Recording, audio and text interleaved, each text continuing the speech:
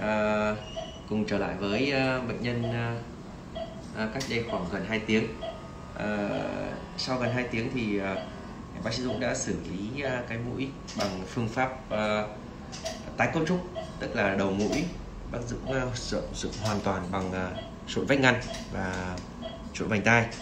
Còn cái sống mũi này đã sử dụng bằng số quy form thì tùy tùy từng bệnh nhân. Ví dụ như bệnh nhân này người ta thích như là bệnh nhân rất thích, hoặc là nhìn vào cái khuôn mặt rất hợp với cái dáng mũi à, cong lượn như này, tức là dáng mũi dọc dừa như các cụ ta nói ngày xưa.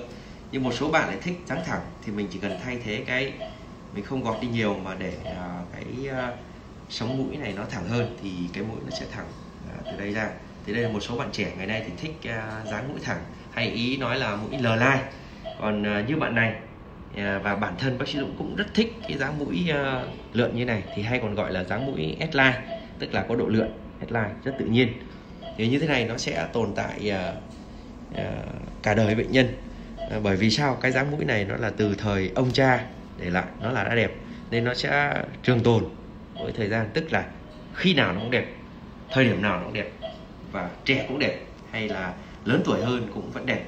Thì uh, mong rằng các bạn sẽ À, tìm hiểu thêm về cái à, mũi tái cấu trúc đặc biệt là sử dụng thêm cái số form nó sẽ rất chắc chắn bạn thấy rất chắc chắn. Cái này chỉ khoảng tầm à, sau khoảng 2 tuần thì mình sẽ không có thể long lay được cái sống mũi nữa. Giờ và sẽ như thật rất mềm mại và sẽ hạn chế được tối đa cái vấn đề mà bóng đỏ đường mũi. Ở đây chúng ta sẽ cùng theo cái dáng mũi à, sau khi à, khi, khi thực hiện bằng, à, bằng phương pháp à, nâng mũi tái cấu trúc với dáng S-line và cái sống mũi bằng Soki Form là lỗ mũi rất đều, rất đẹp. Rồi, cảm ơn các bạn.